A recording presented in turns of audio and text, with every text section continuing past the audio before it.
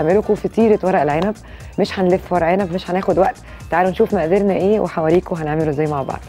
آه، أول حاجة أنا عندي 450 جرام ورق عنب. ممكن طبعا لو فريش هنسلقه. أنا جايباه برطمانات مسلوق جاهز. آه عندي زيت زيتون. عندي آه للتقديم أو للوش. لوز مكسر وصنوبر محمص. وطماطم متحمصة في الفرن برضو. عندي للحشوة بتاعه آه ورق العنب آه 2 معلقة زيت زيتون بصلة مفرومة 3 فصوص ثوم مفرومين آه 500 جرام آه لحمة مفرومة 2 معلقة صلصة طماطم نص معلقة صغيرة حبهان بودرة معلقة صغيرة كمون ناعم معلقة صغيرة بابريكا آه 350 جرام رز مصري تل- 30 جرام بقدونس و30 جرام آه نعناع أخضر مفروم. للصوص أو للشوربة اللي هنسقي بيها ورق عنب عندنا. 900 ملي مرقة ممكن تبقى مية طبعا بس أنا بفضلت المرقة عشان تدي طعم أحلى. آه 80 ملي عصير ليمون معلقة زيت زيتون معلقة دبس رمان وزي ما قلت لكم الوش عندنا لوز وبقدونس وشوية صنوبر ولوز محمصين. تعالوا أول حاجة نبتدي إن إحنا نعصج اللحمة المفرومة اللي هنضيف ليها. طبعا هنعمل الحشو اكن إحنا بنعمل حشوة ورق عنب طبيعية جدا بس ورق عنب اللي هو اللي باللحمة. هحط زيت زيتون.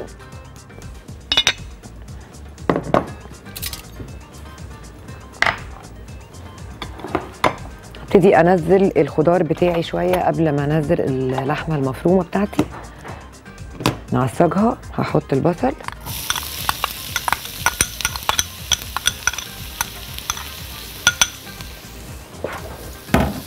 أول ما البصل أشم ريحته أنا مش عايزاه خالص. يستوي أو يتحمر أو أي حاجة خالص أنا بس عايزاه يطلع ريحته قبل ما أزود التوم لأن التوم طبعا مش بياخد وقت على النار. زي ما أنتم عارفين أول ما هننزل التوم هنبتدي ننزل بقية المقادير على طول. هحط الملح دلوقتي. برضو الفلفل في الآخر مع بقية البهارات.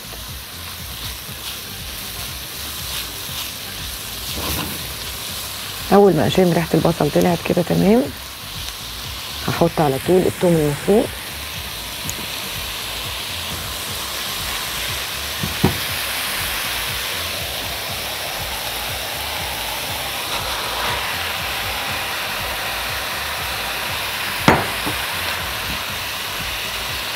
بفكها بس شوية من بعضها الأول.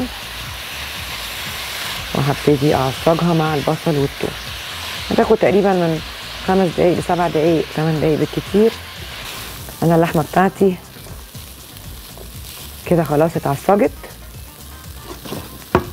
عايزين بقى نزود البهارات بتاعتنا ومعلقة الصلصة والرز.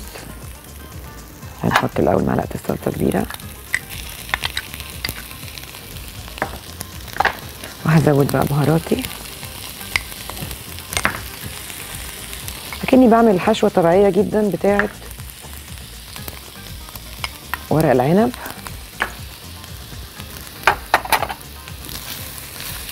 وبعدين هزود الرز بتاعي.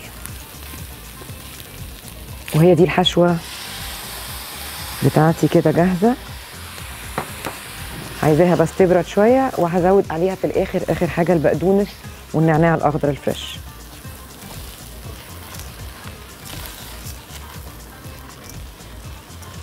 طبعا ورق العنب أنا زي ما قلت لكم أنا جايباه مسلوق جاهز.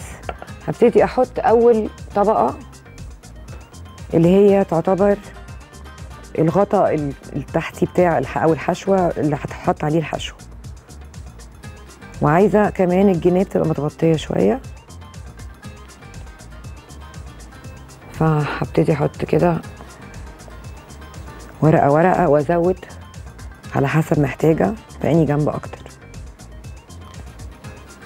طبعا هو بي بيوفر تقريبا 80% من الوقت يعني هو طبعا هياخد شوية وقت إن إحنا نفرد ورق العنب. زي ما أنتم شايفين أنا حاولت إن أنا أغطي القعر كويس قوي والجناب كمان الجناب كمان متغطية بورق العنب. طيب أنا الحشوة بتاعتي ابتدت تبرد تعالوا نزود لها الخضرة بتاعتها. وهنبتدي نحطها في الطبقات بتاعة المحشي أو فطيرة المحشي عشان ده محشي مغشوش شوية. ننزل اول طبقه من اللحمة والرز.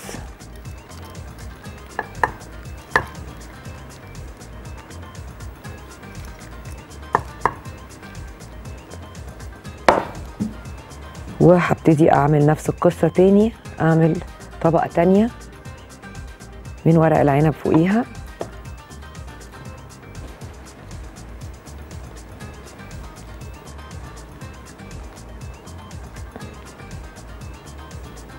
وهننزل بقية الحشوة.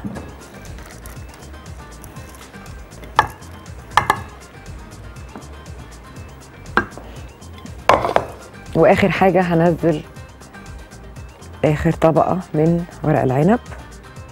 ودي هعملها العكس بقى لأن دي دلوقتي هتبقى على الوش بما إني مش هقلبه. فأنا هخلي الجذع هو اللي تحت المرة دي مش فوق. واحدة كمان هنا على الجنب. ونبتدي هنحط آخر حاجة بقى على الوش الطماطم. وهنسقيها بالشوربة اللي بالليمون اللي هنعملها مع بعض دلوقتي. كده تمام؟ هنحط بقى الطماطم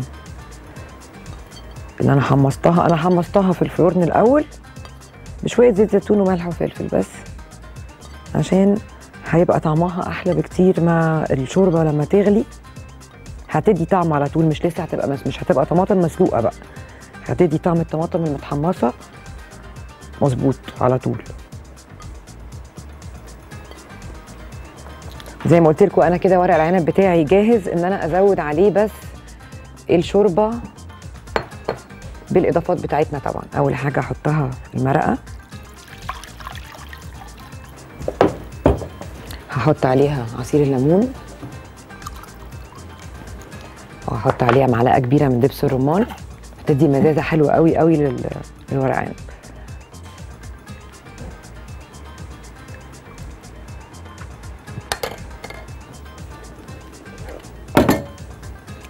وآخر حاجة هحط أربع معالق كبار تقريبا زيت زيتون.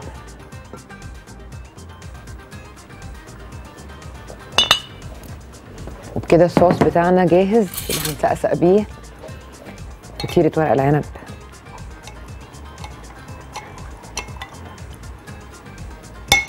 نزود شوية ملح وفلفل طبعا.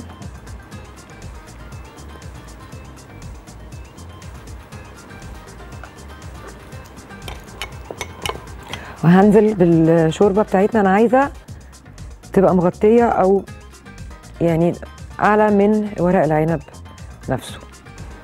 لازم المية تغطي أو المرقة بتاعتنا تغطي ورق العنب. تمام؟ هغطيه بفويل. وهيخش الفرن تقريبا 80 دقيقة على درجة حرارة 180 وبعدين لما أطلعه لازم أسيبه متغطي تلت ساعة كمان علشان يبرد قبل ما أقطعه. تعالوا ندخل ده الفرن. عايزين نقطعها مع بعض هي ابتدت تبرد خلاص. نحط كمان ممكن يعني لو تحبوا كفاية نوع واحد من المكسرات بس أنا حبيت إن إحنا نحتفل شوية النهارده بالفطيرة دي. فزودت كمان شوية لوز.